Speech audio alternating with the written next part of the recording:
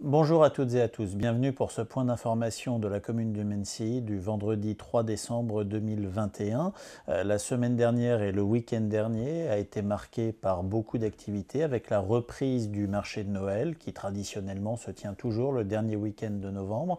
Euh, une première édition depuis deux ans pour cause de pandémie et qui malgré une météo euh, compliquée entre la neige fondue le samedi matin et les averses samedi après-midi a pu réunir des milliers de visiteurs euh, venus euh, visiter les 80 exposants, venus visiter les stands et les animations pour les enfants ou encore profiter du feu d'artifice. Alors là, je suis au marché de Noël de Mency. Je suis venue admirer tous les beaux stands. Euh, il y en a pour tous les goûts. C'est vraiment génial. Euh, il y a autant la nourriture, l'alcool, les produits de Mency. Franchement, j'aime beaucoup ce qui a été fait. C'est la première fois que je viens, mais je reviendrai l'année prochaine. Il y a beaucoup de monde. C'est vrai qu'il y a beaucoup de monde. Beaucoup de gens sont venus euh, visiter tous ces petits chalets. c'est très familial, c'est très agréable. Bon, le temps n'est pas tout à fait au rendez-vous, mais pour la période, euh, c'est pas c'est pas important.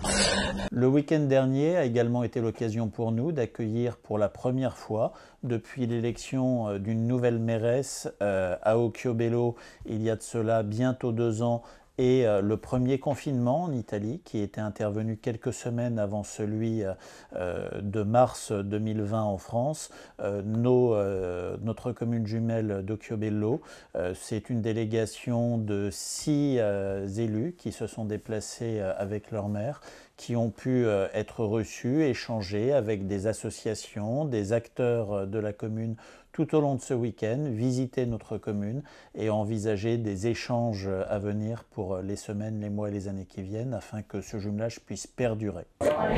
Salve, sono Sondra Coizzi, sono il sindaco di Occhiobello, un comune in provincia di Rovigo, in Italia settentrionale.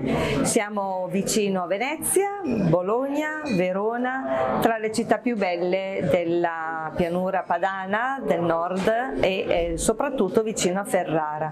Apparteniamo a un comune che è sulle rive del fiume Po, il fiume più lungo d'Italia, è bellissimo, nella nostra zona il Po è splendido e dona al nostro comune un aspetto territoriale molto interessante, molto affascinante.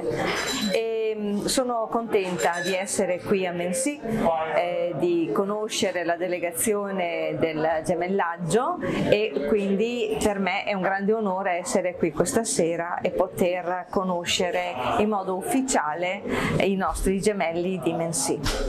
Bon, ben, je suis Giorgio Perrone, un habitant de Mensi depuis 1975 et j'ai adhéré aux demandes de, la municipalité pour traduire euh, tous les messages du jumelage entre Menzi et Occhiobello. Ceci a commencé par euh, le premier pacte de jumelage où nos amis italiens sont venus et euh, j'ai continué à faire cela jusqu'à maintenant. Le week-end dernier, nous avons été ravis d'accueillir la nouvelle équipe d'Occhiobello, ville jumelée avec Mency dans le cadre du traditionnel marché de Noël. Après une année 2020 marquée par la pandémie, cette visite a été la première occasion pour se rencontrer physiquement euh, avec les équipes d'Occhiobello. Euh, c'est, nous l'espérons, le point de départ d'une collaboration renforcée. Je tenais à remercier Sandra et toute son équipe, ainsi que toutes les personnes qui ont contribué afin que ce week-end soit une réussite, et une spéciale dédicace à tous nos commerces, Loïc, Yann, Giorgio. La semaine dernière a également vu la poursuite de l'installation de purificateurs d'air, euh, ces euh, outils que nous sommes amenés euh, à décliner à déployer massivement et de manière systématique dans les écoles, les crèches, les structures de petites enfances, d'une part pour permettre de lutter plus efficacement contre la pandémie, mais également de réduire le taux de particules présents dans l'air et donc d'offrir une meilleure qualité de l'air respiré par nos enfants. Bien, on est là aujourd'hui parce que euh, un prestataire nous installe des purificateurs d'air euh, sur euh, l'outil-accueil La Ribambelle et le relation paternelle. C'est une opération qui a déjà été effectuée dans d'autres sites de la ville et nous continuons à équiper nos, nos, structures d'accueil d'enfants et de jeunes enfants parce qu'il y a de grands bénéfices à retirer de cette installation, notamment en crèche où c'est un milieu où il existe beaucoup de microbes, les enfants sont malades régulièrement, surtout l'hiver, et puis pour la santé des agents aussi, le fait d'installer ces purificateurs va permettre aussi bah, d'assainir de, de, en tout cas les espaces de vie des enfants. Donc tous les purificateurs euh, ont été euh, calculés par rapport au mètre carré euh, des pièces. Donc ainsi, même que quelques dortoirs vont pouvoir bénéficier de cette installation. Donc comme disait Mme Noël, pour le bien-être des enfants. Cette semaine a également marqué le début des expérimentations lancées par la commune et le département sur le passage à une voie de la 191 afin que cette voirie qui est à une voie sur tout le département, eh bien, le soit aussi en intramency pour essayer de réduire la vitesse, la dangerosité euh, pour euh, les riverains qui habitent sur cet axe, le bruit que supportent des centaines d'habitants euh, du village Lévite au quotidien, et puis fast test également sur la 153 avec la mise en service des trois carrefours à feu intelligents de manière à pouvoir réduire la vitesse. Pour schématiser et faire simple, à plus de 50 km/h, le feu ne passe pas au Bonjour, ben effectivement, euh, face au constat qu'il y avait euh, une vitesse souvent excessive des véhicules circulant sur la route de Chevannes, et euh, avec le souhait également de sécuriser les carrefours à feu de cette voie de circulation, la municipalité a souhaité mettre en place ce que l'on appelle communément des feux intelligents, qui sont en fait des feux micro-régulés. Le principe de ces feux est le suivant. Au carrefour, tous les feux sont normalement au rouge et ils passent au vert pour donner la priorité aux premiers véhicules qui se présentent ou aux piétons qui souhaitent traverser euh, sur un passage piéton.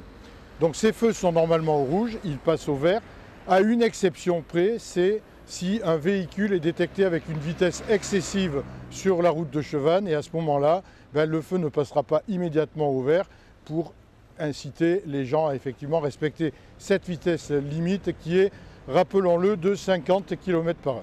Les systèmes permettant euh, la mise en service de ces feux sont en place et cette mise en service sera effective dans le courant de la semaine prochaine après mise en place également de panneaux expliquant euh, cette modification aux deux extrémités euh, de cette partie de la route de cheval.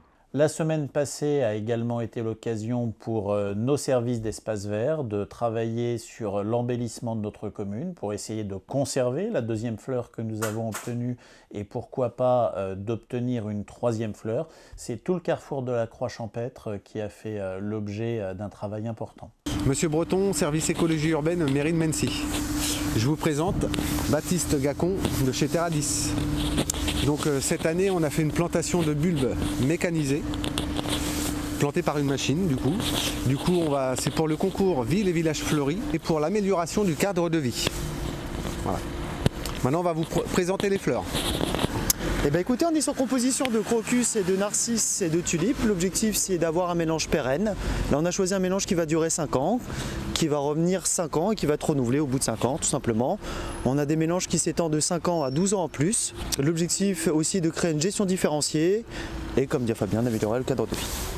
Enfin, je tenais à saluer euh, Yael Buzzetti qui a ouvert à Mency il y a de cela euh, quelques mois maintenant euh, une agence Tranquillité Service au centre commercial de la Verville et qui vient d'être élue présidente de la Chambre des métiers de l'Essonne. C'est une très belle reconnaissance pour elle, pour notre commune et pour la communauté de communes du Val d'Essonne. Je remercie les artisans mensois de nous avoir euh, donné toute leur confiance et de nous avoir euh, élus à la Chambre de métier de l'artisanat. Euh, il faut savoir que parmi les représentants, quatre élus sont des artisans mensois. Nous souhaitons être une équipe de terrain proche des artisans et nous restons à votre écoute pour défendre vos intérêts. Les jours qui viennent euh, vont voir la mobilisation de notre commune comme nous le faisons traditionnellement euh, pour le Téléthon. Euh, pendant une dizaine de jours, ce sont des dizaines de manifestations qui vont se succéder. Ce vendredi soir, c'est le traditionnel dîner du Téléthon, mais au-delà de cela, c'est toute une série de manifestations qui mobilisent les associations, les services municipaux, les bénévoles, les Mensois qui ont envie de s'inscrire pour essayer de faire avancer la recherche Alors l'association, euh, c'est festive, euh, culturelle. On fait connaître euh, les Ménissois et autres, notre culture antillaise. Donc on fait de la couture, des coups de, tambour, il y a de la musique autrement, le solfège, et on fait de la danse.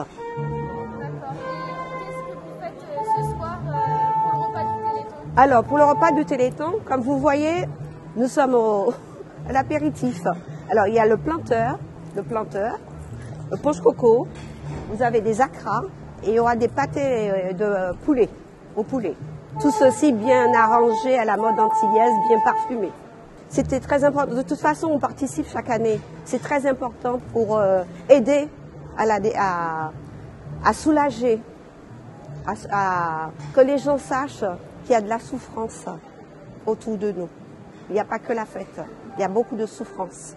Que les parents, que les enfants, les grands-parents, tout autour de ces gens malades, il y a beaucoup de souffrance. Je voulais d'abord remercier la, communication qui nous suit de très près, euh, la, vie associative, le bureau associatif et les salles, la, comment dirais-je, Stéphane Molicon pour les demandes de salles. On est très satisfaite au, pour les demandes. Dimanche 5 décembre à 11h, nous commémorerons euh, les traditionnelles cérémonies du 5 décembre au cimetière de la Sablière euh, en compagnie des associations euh, d'anciens combattants. Ces cérémonies sont bien évidemment publiques et ouvertes à toutes celles et ceux qui souhaitent y participer. Dimanche 12 décembre, comme euh, chaque mois, le centre commercial de la Verville accueillera un marché thématique qui, euh, actualité euh, de Noël oblige, aura pour trait les fêtes de fin d'année et les fêtes de Noël. Rendez-vous donc à toutes et tous à ce centre commercial tout au long de la matinée du dimanche 12. Je vous souhaite à toutes et tous une très belle semaine.